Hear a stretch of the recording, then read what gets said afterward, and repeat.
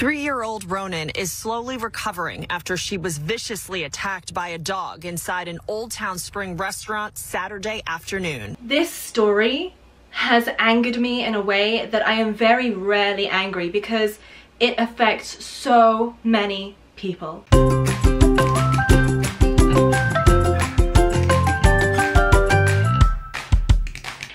What's up creatures? It's Em and welcome back to my channel. If you are brand new here welcome. My name's Em. I'm a former zookeeper and I'm a digital animal educator. If you haven't already remember to hit that subscribe button down below become part of the creature crew and also hit that notification bell down in the corner there so you don't miss a single upload. Today I'm going to be relaunching my series let's talk about where I cover different topics pertaining to all kinds of animal pet and wildlife issues issues. If you have a topic you'd like for me to cover, please leave a comment down in the comment box below. And also remember, I would love for you to join in with the discussion. So if you have a thought, a comment, or something to add in any way, please leave a comment down in the comment box below. Today I'm going to be talking about a senseless, very upsetting incident which happened earlier this week in Texas involving a fake service dog biting a toddler and then I'm going to be going on and explaining the differences between service dogs and emotional support dogs, how to spot a fake service dog, why people fake having service or ESA dogs, and what you can do to help. Before we jump into today's topic, I just want to remind you that I am a published author. My very first book, Animal Kind, is available on Amazon across the world. You can find a link to my book down in the description box below. It may have been a number one bestseller in multiple categories for a number of weeks. Earlier this week in Spring, Texas, a family and their daughter, Ronan, went out to eat at a family restaurant. Whilst this family were waiting to be seated, they came across a woman who was also dining in at this restaurant. She had her pit bull with her and it was in a service dog vest. It was instantaneous. There was a massive pit bull there in a service vest and he just lashed out at her. The pit bull, which was clearly wearing a service dog vest, lunged at the toddler and bit her on the side of the face, leaving her in dire need of almost 20 stitches. Little Ronan suffered a large bite wound to her right cheek. Her jaw also injured. Witnesses said my little girl didn't reach for it.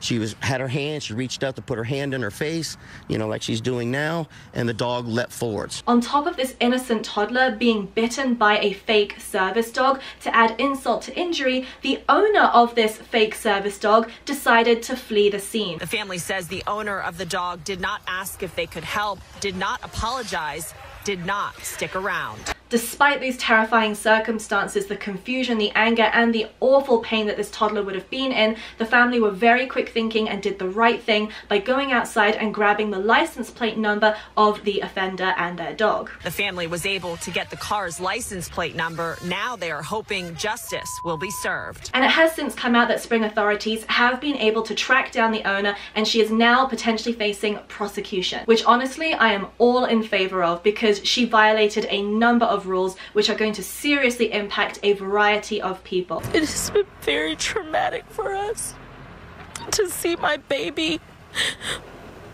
attacked so viciously. It's wrong. She should be put in jail. She should be held accountable. Old Town Spring police have managed to track down the offender who fled the scene of the crime and the family have set up a GoFundMe to help them seek legal representation to bring this woman to justice. If you would like to contribute, feel free to go down into my description box where you can find the official GoFundMe to help this family. A percentage of today's ad revenue will also be going to this GoFundMe to help this family seek legal representation. I've done some more research on the woman who posed her pit bull as a service dog, and aside from blaming Ronan, the toddler her dog bit, for the attack and then fleeing the scene, it's come out that she was sued in the past for another one of her service dogs biting someone. I think this dog pictured here is the dog which caused the lawsuit for $1.3 million in damages. She then faked a break in at her home and started a fundraiser for herself in order to cover her legal costs, she also faked being a professional dog trainer. As much as I hate to be rude, I really hope that this woman is prosecuted and found guilty for her crimes, because an innocent girl has been mauled and disfigured, and the family has been put through a needless nightmare. And this entitled lawbreaker is a repeat offender, with her dogs having mauled others in the past. In my opinion, she should be fined, face a prison sentence, and be banned from owning any more dogs.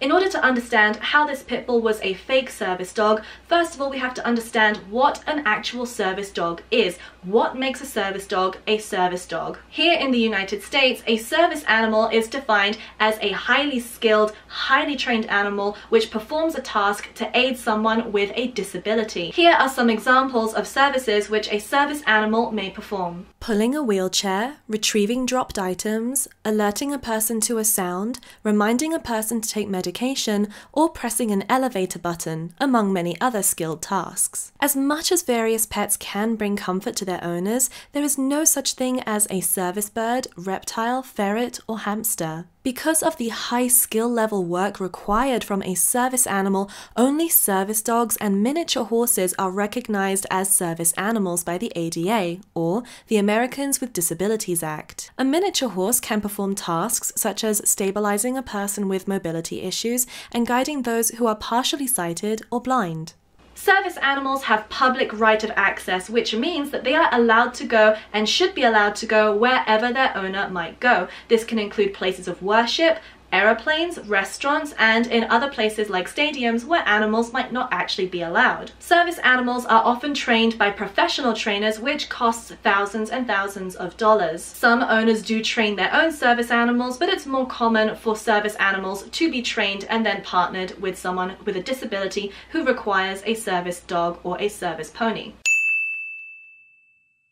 An ESA stands for an emotional support animal. Emotional support animals are not service animals. Emotional support animals can be any kind of animal, not just a dog or a miniature horse or pony. An example of an ESA are bearded dragons, snakes, cats, chinchillas, dogs, almost any animal you can think of. The function of an emotional support animal is just to give emotional support to their owner. They do not have to be highly trained or highly skilled. There is no official register for an ESA, and ESAs do not have the right to public access, meaning that ESAs are not allowed in restaurants and they are not allowed in certain areas such as stadiums or places of worship where their owners might go. Although you don't have to have a disability or a mental disorder to benefit from an ESA, people who often do find comfort in ESAs are those who have suffered deep personal loss and those living with PTSD, bipolar disorder, that's me, anxiety, and depression. Since ESAs do not have to perform specific tasks, they do not have the right to access most public spaces.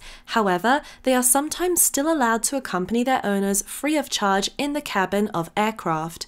Unfortunately, due to people exploiting the courtesy of airlines and trying to fly their peculiar, oversized and badly behaved pets for free under the guise of them being ESAs, many airlines have completely restricted which species of ESA may fly in the cabin, and as of January 2021, many large airlines have completely abolished flying ESAs altogether. Because service animals and ESAs have been allowed to fly for free in the cabin of airlines, you can imagine how many people do take advantage of this and fake their animals being service or ESA animals.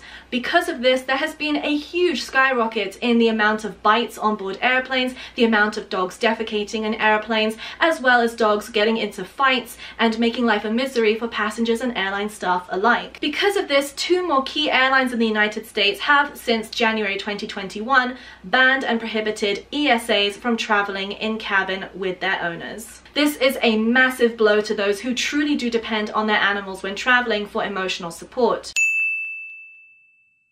Some people fake their animal being a service dog because their dog has separation anxiety or other behavioral issues which make the owner avoid leaving their pet home alone. Some people fake their service animals and ESAs so they don't have to leave their pet with a sitter when they go away on holiday. And some people fake having service animals and ESAs for the views. Oh, gone into you today, huh? dog. He's supposed to be a service dog. But by far, the vast majority of people who fake having service animals and ESAs are those who wish to benefit from the Fair Housing Act, which currently means that landlords are unable to decline a pet if it serves as an ESA or a service animal, and these landlords cannot charge pet rent for these animals. Aside from seemingly small problems like poorly trained ESAs and fake service animals defecating in places such as restaurants or planes, fake service animals and ESAs cause dire consequences for real ESAs and real service animals. Something I want to draw attention to, which you might not be aware of, is that service animals are legally classed as medical equipment. They are highly trained, highly skilled animals which are trained often for years before being partnered with a disabled person who requires that animal's assistance in order to live a normal everyday life as much as possible. These service dogs must be able to focus on their job. This is why you're not supposed to pet service animals when you see them out and about, whether it is a dog leading a blind person or simply a dog that might look like a regular dog wearing a service vest. The proper etiquette is to leave the dog to perform the function that it is. No kissing sounds to get the dog's attention. This can actually draw attention away from the dog, which is supposed to be doing its job and picking up on vital clues that its owner might be giving off. For example, falling blood sugar, which might lead to epilepsy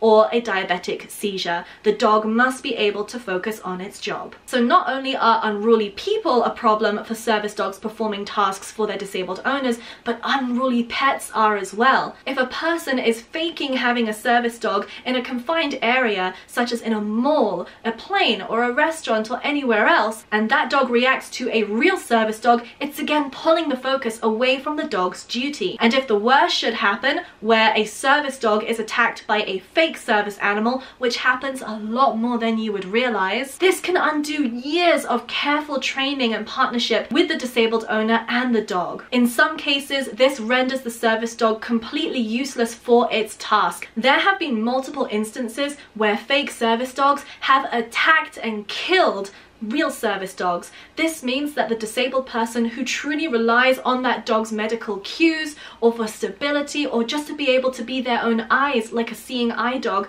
can no longer live a normal life because one person decided to act as though they were disabled just so they could bring their animal to the mall or to the movies or to the grocery store.